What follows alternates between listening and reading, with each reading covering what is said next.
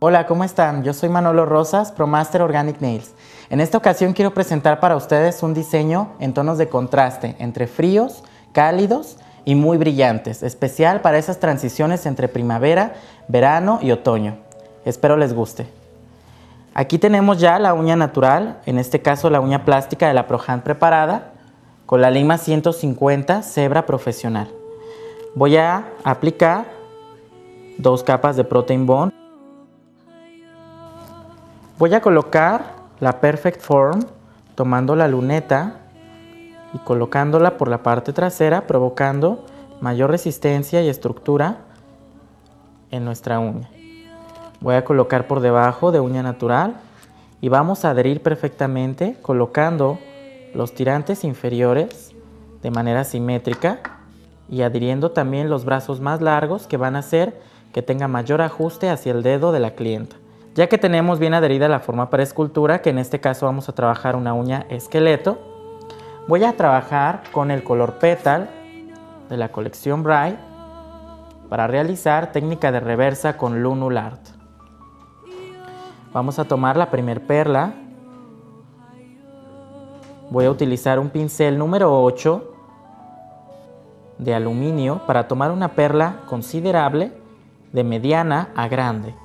Esta perla la vamos a utilizar para la línea de tensión donde se va a situar el peralte, que es la parte más alta de nuestra aplicación. Ahí está. Ya que la tenemos bien marcada, vamos a ocupar una perla un poco más pequeña del mismo pétal, únicamente para maquillar el área de cutícula y darle la misma tonalidad que estamos ocupando exactamente en toda la almendra. Hemos venido trabajando la técnica del Art con un acrílico que se llama Creamy White que va a dar un aspecto natural a nuestra uña. Y en este caso voy a utilizar la técnica como parte del diseño también. Voy a realizarla con una mezcla de tres glitters que son Hologram, Shimmering Sand y Fawn. Los tres en tonos dorados, plata y tornasolados. Tengo aquí la mezcla con acrílico cristal y para poder realizar la lúnula voy a utilizar mi pincel Organic Design Sculptor. Vamos a tomar una perla pequeña, dejando un tiempo de pose en el pincel para que a la hora que ustedes puedan colocarla sea mucho más fácil el manejo.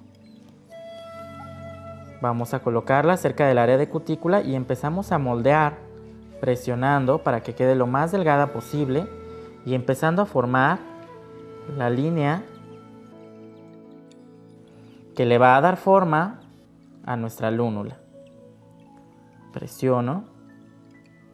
Y antes de que seque voy a utilizar unas pequeñas colitas de sirena en tono amarillo tornasol, incrustándolas para darle aún mucho más brillo.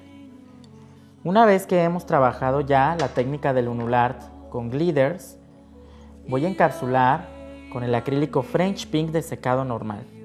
Recuerden que es importante trabajar con French Pink de secado normal y no secado rápido, ya que el secado normal sigue siendo translúcido a diferencia de su versión en secado rápido que se convierte en semi-translúcido. Vamos a tomar una perla con el mismo pincel número 8, considerable también, y la vamos a colocar sobre la lúnula ya trabajada para encapsular y matizar todo nuestro trabajo logrando así tener nuestra técnica de reversa completamente terminada. Una vez que hemos terminado nuestra técnica de reversa, vamos a empezar a trabajar con el diseño en punta. En esta ocasión voy a utilizar una mezcla de gotas de arte en color chocolate, la misma mezcla también que utilizamos en la lúnula y una mezcla adicional de polvos sólidos con el Organicolor Rouge y el Organicolor Black para trabajar un color chocolate. Fíjense bien, vamos a realizar un veteado muy sencillo. Voy a comenzar con la gota de arte en color chocolate, con un poco de acrílico cristal. Recuerden que es importante utilizar un pincel adicional para las gotas de arte, el cual yo les recomiendo que sea de número 6. Vamos a empezar a colocar la gota con acrílico cristal en línea de sonrisa y posteriormente tomo la gota, pero ahora con la mezcla de glitters. Si se dan cuenta, al momento que toman los glitters, toma una apariencia mucho más metálica, como si fuera hierro fundido. Y vamos a empezar a alternar de nuevo con la gota de arte, muy húmedos como pueden darse cuenta, para que pueda realizarse el veteado y veamos formas y efectos ocultos en diferentes intensidades.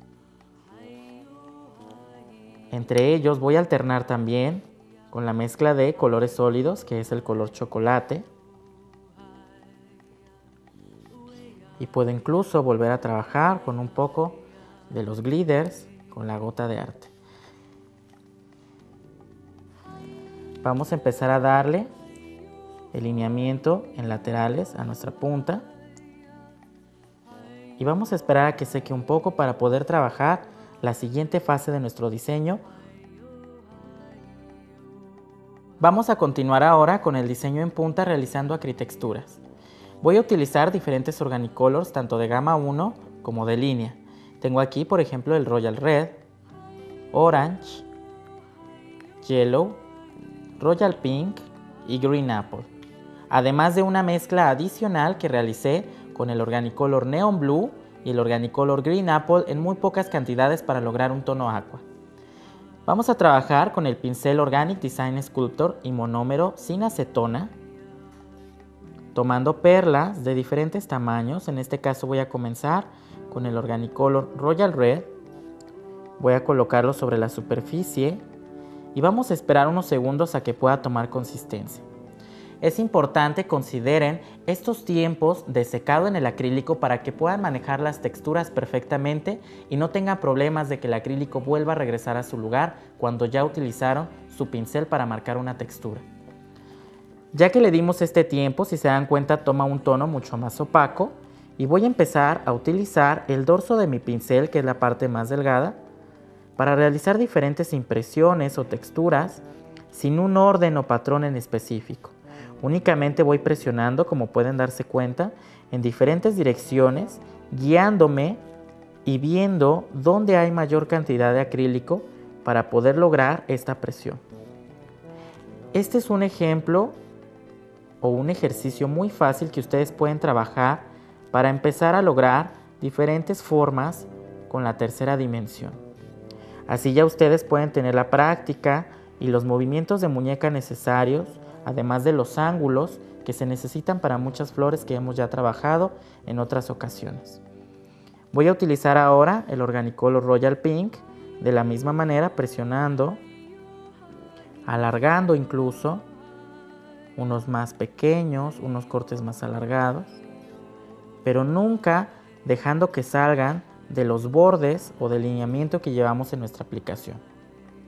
Voy a utilizar ahora la mezcla en tono aqua Esperamos unos segundos en la punta del pincel y colocamos.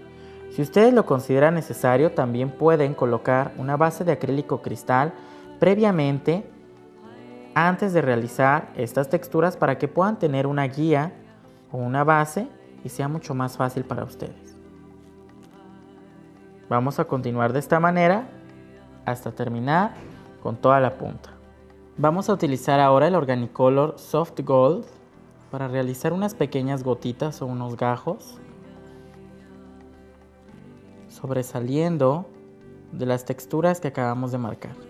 Únicamente colocando la perlita y estirando un poquito con el lateral del pincel para lograr que quede bien definida. Voy a utilizar ahora el Organicolor Black para poder marcar mucho más la textura y evitar que a la hora que se encapsule se pierda. Fíjense bien, voy a utilizar el Organicolor Black con mi pincel Design Sculptor en perlas muy pequeñas y húmedas, únicamente matizando entre todos los pétalos que realizamos. Es importante y necesario que sea completamente húmeda e ir limpiando rápidamente para no manchar de más la aplicación y que únicamente quede entre los surcos de las presiones que trabajamos con el pincel Design Sculptor.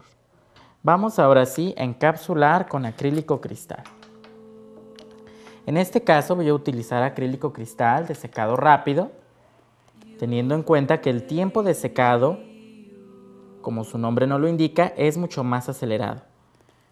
Este tipo de acrílico se los recomiendo cuando tengan un nivel de aplicación un poco más avanzado o para cuando el clima de su localidad o el lugar donde aplican sea mucho más frío.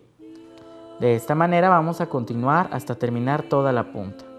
Una vez que ha secado el encapsulado de nuestra aplicación, voy a retirar la forma y vamos a comenzar a dar el limado estructurando primero los laterales bajos de la uña, que son los faldones, de manera recta, también los laterales y el frente. Una vez que terminamos de limar con la lima cebra 100 profesional, estoy utilizando la lima Spongy 180-180 para poder retirar todos los rayones de la lima anterior y lograr una superficie mucho más lisa, provocando de esta manera también que nuestra aplicación pueda tener aún más brillo. Voy a retirar el polvo limpiando con una gasita con Synergy Wipe para dar el terminado ahora sí colocando una capita muy delgada de Protein Bond en área de cutícula y finalmente nuestro Finish Gel va a ser el terminado de alto brillo que va a otorgar resistencia y durabilidad para todos tus trabajos. Y vamos a dejar curar en lámpara UV de 2 a 3 minutos. Una vez que transcurrió el tiempo de curado en lámpara, retiramos. Y en el caso de sus clientes, ustedes pueden aplicar un aceite para cutícula, que en este caso es el de kiwi fruit, que yo les recomiendo para pieles intermedias y de esta manera poder dar una hidratación completa y un servicio plus en nuestro trabajo. Y de esta manera queda terminado el diseño.